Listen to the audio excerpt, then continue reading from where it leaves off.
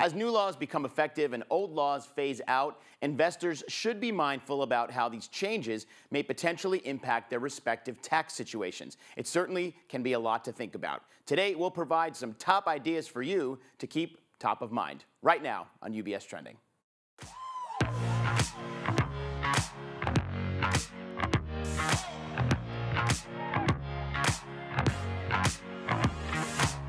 Hi, everybody, and welcome to UBS Trending. I'm Anthony Pastore. Thank you so much for being with us. I'm excited to welcome my two guests to the show, wealth strategist Jennifer Land and Premini Skandora. Thank you both for joining. Um, we've got this beautiful uh, uh, report that you both worked on called the Top 10 Planning Topics for 2024. We don't have time to get to all 10 today, so we're going to pick four of those that you both have said are the ones that you really want to highlight. So, Jennifer, maybe I'll start with you.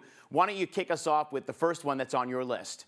The two biggest items that we are going to focus on today, and they are number one and two on our list, are the Corporate Transparency Act and the sunset of the estate and gift exemption amount. The Corporate Transparency Act created new reporting requirements that will affect many family businesses and other entities that families use in their wealth structures. Under the Act, reporting companies must provide information about their beneficial owners to the Financial Crimes Enforcement Network the Advanced Planning Group actually has a great UBS trending video on this topic, and Berkey actually discussed the requirements of the Act and what this means for business owners. Um, I will say, additionally, though, after the video came out, there were some new developments around this topic and its constitutionality, and you can find out more on that on the alert that we provided and put out um, a few weeks ago. So, in light of an already existing video, today we're going to focus more on the sunset provisions Premini is going to discuss and focus on the estate planning aspects. We're really encouraging um, our advisors and our clients to start planning now. And later, I'm going to focus more on the income tax changes. Great. Thank you, Jen. Appreciate you kicking us off there. So, Premini, when, when it comes to estate planning, as Jen said, you were kind of focused on that. What does everyone need to know about the sunset of the estate and gift exemption? Obviously, time is everything. Timing, of course, is everything as well. What should we know? In the US, you know, each individual has a lifetime exemption that they can use to transfer assets either during lifetime or at death without incurring any federal estate or gift taxes. The 2017 Tax Act effectively doubled the lifetime exemption amount from 5 million to 10 million adjusted annually for inflation because of these changes, the 2024 lifetime exemption amount is about is 13.61 million per person in 2024, and the combined uh, exemption amount is 27.22 million in 2024 for married couples. However, the thing to note is this window of opportunity presented by the elevated exemption amount is limited. At the end of 2025, this tax provision is set to expire, cutting the lifetime exemption roughly in half unless Congress takes action to extend it. What this means is that individual taxpayers with significant estates that are above the exemption amount should consider making gifts that use the enhanced lifetime exemption before the end of 2025 to the extent it's feasible for them to do so.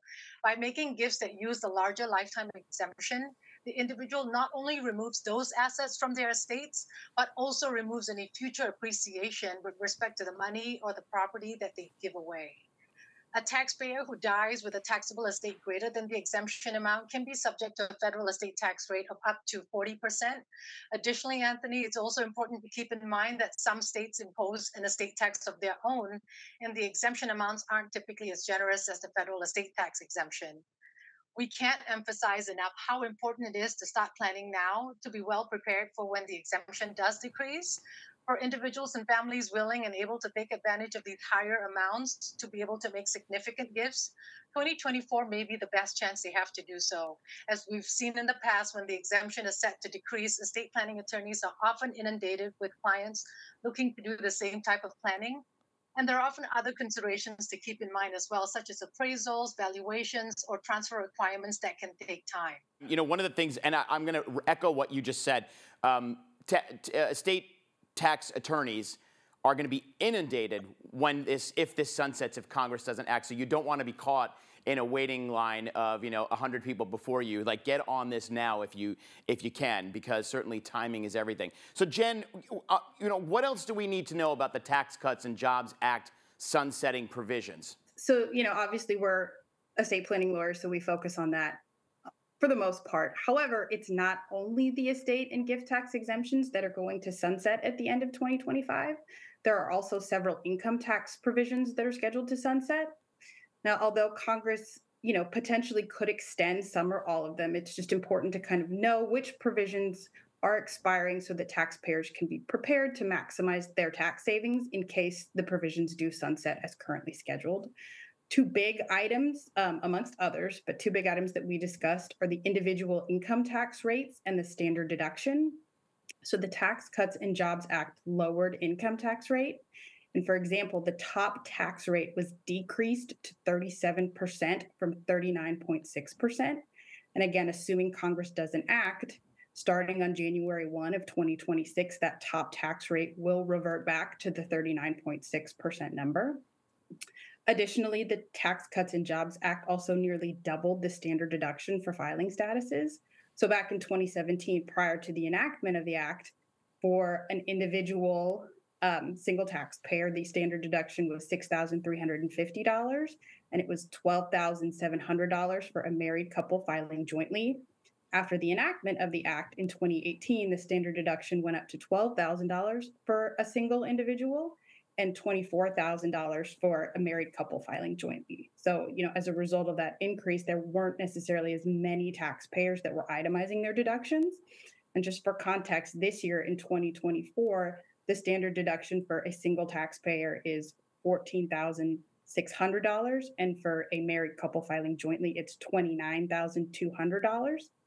We'll get one more year of inflation, but again, starting on that January 1 of 2026, that standard deduction amount will essentially be cut in half. You'll still get an inflation adjustment amount, but it will be um, a decent amount less. So, with all these changes, we just think it's really important, you know, that individuals and taxpayers and clients really just plan accordingly. Yeah, that's probably the best rule of thumb, Jen. Thanks for saying that. And so, as we're kind of looking at everything we're talking about today, plus there's a lot more information in the uh, in the, the the report that you both worked on here. With all these new rules, how can investors, how can our clients, how can we better plan for our futures? Prem, do you want to give us your thoughts on that? You know, one thing that we would like to stress on also is not to forget about annual exclusion gifts.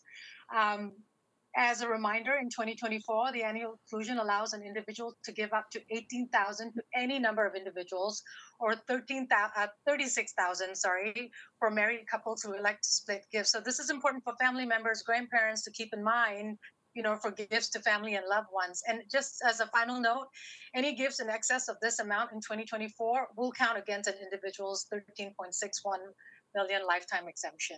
So we can't again stress how you know how powerful it is to make annual gifts. When you compound that with uh, combine that with compounding investment growth over time, can be pretty significant. Yeah, Prem, thank you. And Jen, any last final thoughts for our viewers today?